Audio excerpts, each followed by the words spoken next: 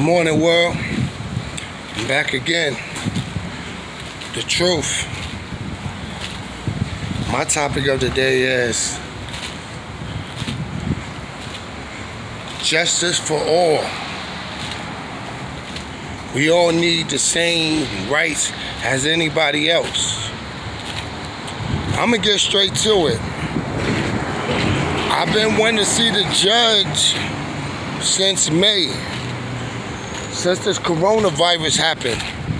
I've been wanting to present so much evidence to the judge to prove my innocence. But this coronavirus shit happened. And and there's another thing. This corona shit don't make no sense. They want you to wear a mask at all time but that shit is not preventing nothing. It's not protecting nothing. You breathing in, you breathing out carbon dioxide. And you're also breathing that shit back in. So how so healthy it is. It's not healthy. It's a fucking road rage to death.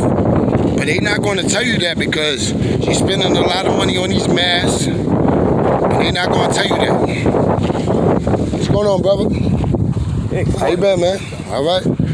So, so the reason why I'm saying justice for all is because my child mom's got my daughter registered in the school, Success Academy, which is fine. That's one of the best schools in the city, which is fine.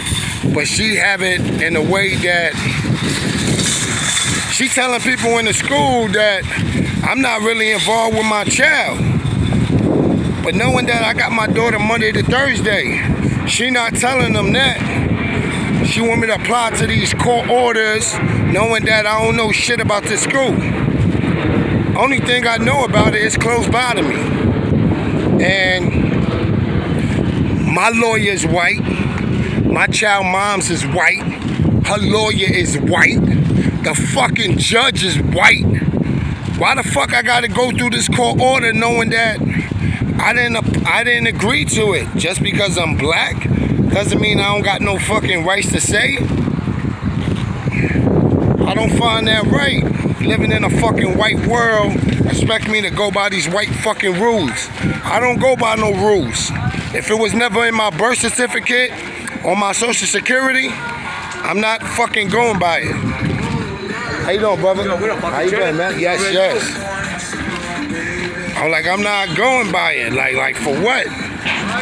And and there's another thing, like, like my lawyer, my lawyer already got me looking like I'm guilty. And I had to break it down to his white ass, yo. I know I ain't do nothing to my child moms.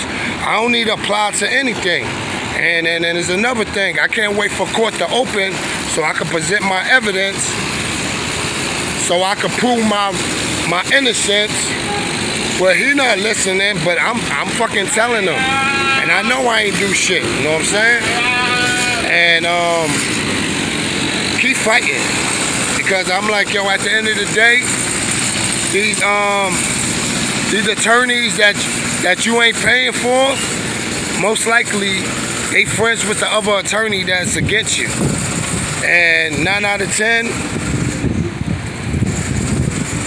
They'll, they'll try to have you lose and shit. I'm not trying to lose for something that I know I'm not guilty on. And um, just keep fighting. Justice for all. And um, speak your pre your piece and um, stand by it. Good day. God bless. Peace.